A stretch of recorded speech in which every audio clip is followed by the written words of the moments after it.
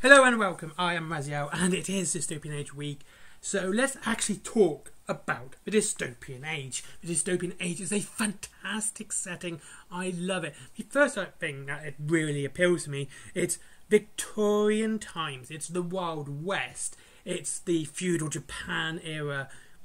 You know, when people started learning about the Oriental areas, you got the mass discovery that happened of land and everything the time where human growth and progress was really at a high level, and Warcradle has just taken that and turned it all the way up to 11.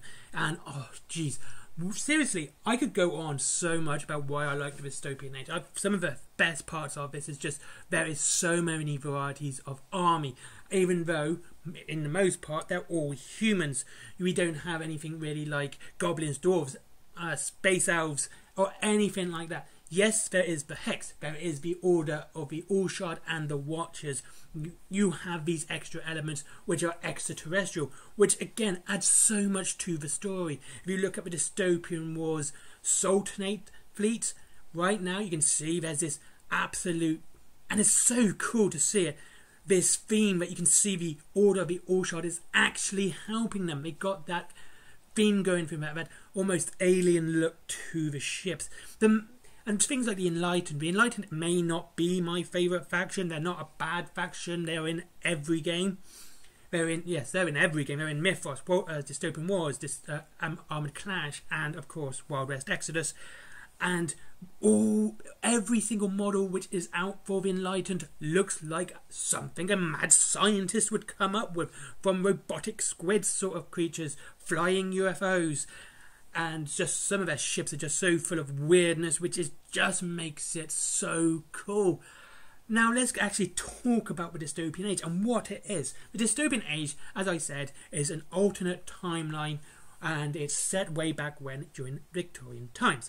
So what happened is this. They discovered a substance that could start creating electricity and power. So things like they were getting street lights which didn't rely on natural gas. They were getting uh, motorized vehicles such as the Iron Horses and the Iron Eagles and of course the tanks. Everything was so far more advanced. We're seeing what came back way before, it came back way after, I should say, Victorian times. We were seeing tanks. That was one of the best things I like about the Armoured Clash is the Crown tanks. They look like World War One tanks during Victorian times. So they have all that Baroque uh, uh, decoration. They look very, what can I say, ornament, ornamental.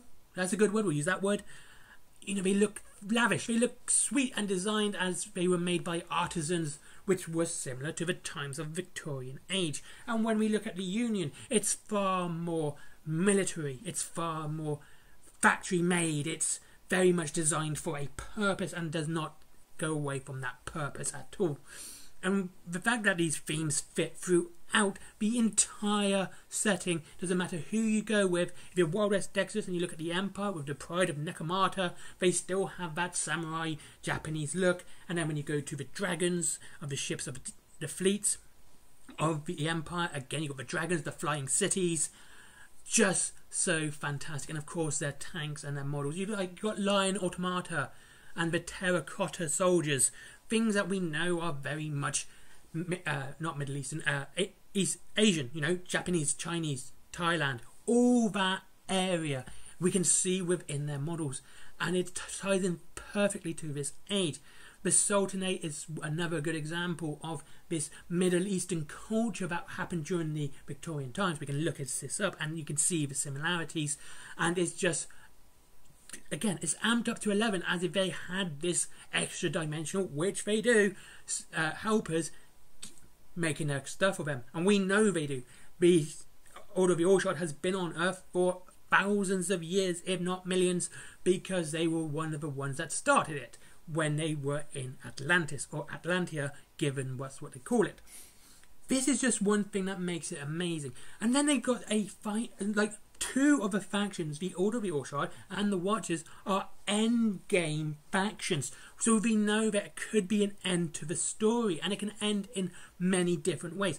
No other setting that I know of has that. No other setting in any war game excluding historical, has factions which actually will make an end game storyline. The Watchers will either destroy the planet or create world peace, once so ending the dystopian age. The Order of the All-Shard will either destroy the planet or destroy the Hex. These are endgame stories for the setting, and it is completely unique to the dystopian age to have factions that do have endgame goals. I think it's absolutely fantastic to see that and read it in the lore that these things could happen and it would finish the setting off. It's not bad having a setting that has an ending or a hypothetical ending which is described within the lore. It's actually really good because it sets it within a very cool time period where you can sort of explore and add more stories. Like, what what if the Watchers didn't end up in Arizona? What if we see Watchers in the Empire aiding them out, or you know, just trying to be uh, trying to you know corrupt and influence the leaders of the Empire or the Sultanate being instead of having the the All-Shard, having the Watchers with them as well. See, this is the stuff that makes the dystopian age during the setting so fantastic. The themes fit throughout each game, and then talking about the themes and the settings, it's one of the few ones where we actually see how the how the time period is affecting people of the same country but of the different areas. We have New England with Mythos and the monsters and the Cthulhu like and everything like that happening in New England, where in Arizona we got the Wild West Exodus, and we got everything happening there. They're very different, same country, governed by the same people, but very, very different settings. And again, this is just something which absolutely amazes me. And finally, when we talk about the games, we have almost there's so many genres and gameplay styles covered in this, in this setting which again, very few other games even do. Yes, most games have a skirmish, uh, epic scale, and you know, big battle games or naval battle games, stuff like that. That happens quite often. But to have a pseudo historical with Armored Clash, that's a pseudo historical game.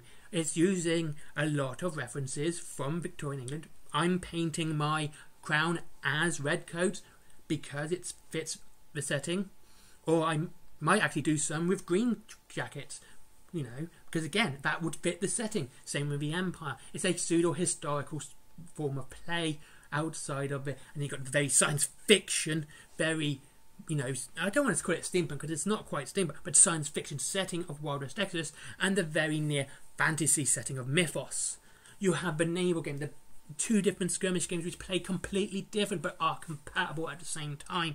This is what makes Dystopian Age so cool and one of the best settings. There is so much to talk about, and honestly, if you want to get into it, it's one of the best games. They make the best games, and I'll die on this hill. I'll say it again. They make the best models.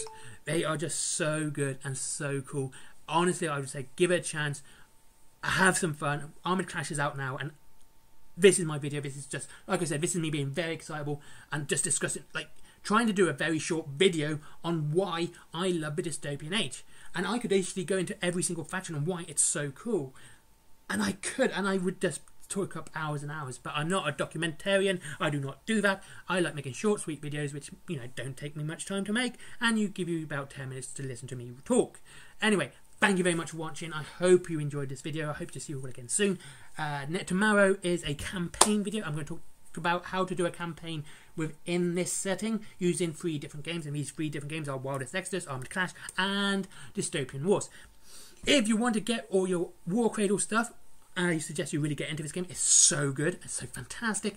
Look at War uh, Wayland Games down below, and there's free delivery after £20. And all the games are there. Mythos, Wild West Exodus, uh, Dystopian Wars, and of course Armored Clash.